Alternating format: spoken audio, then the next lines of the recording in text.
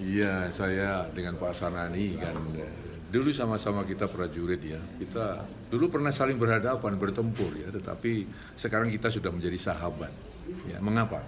Karena kita dua-dua berorientasi untuk kepentingan negara, kepentingan rakyat kedua bangsa.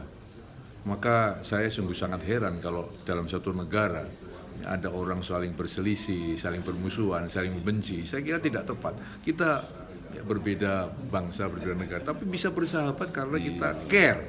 Kita betul-betul eh, sangat eh, peduli kepada eh, nasib rakyat dan perdamaian kedua bangsa. Gitu. Ini saya setuju, Iya. saya setuju sekali. Iya.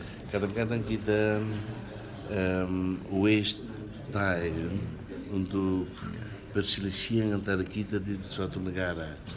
Eh, sekarang ini eh, dengan eh, Indonesia, eh, karena rekonsiliasi kita itu menjadi satu referensi besar sekali di di dunia. Kita ke sana, oh kak, kenapa? Wah, bagaimana ini? They they they ask us, and they want to know how. And this is this is Yeah. the example. this is the, the real Yeah. example.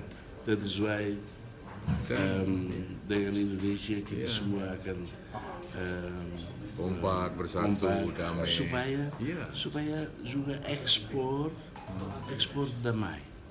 Kita lihat kita dunia ini sudah hancur sekali dan dari sini kita bisa bisa bisa um, um, menyelesaikan ya banyak masalah. antara kita Di antara dan kita. bisa menjadi suatu poin untuk um, membentuk new Persahabatan, order, ya, and a new negara-negara. order, peace ya. in the world. Iya, iya. The world need peace. Siap.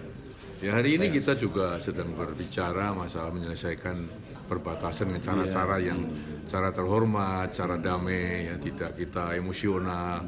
Dan saya kira itu sikap-sikap persahabatan. Maka saya kira dalam satu negara juga saya kira kita harus mencontoh seperti ini. Bagus ya. Terima kasih Pak Sanadi. Terima kasih.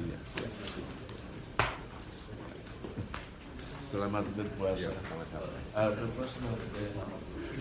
You don't need that. okay, thank you.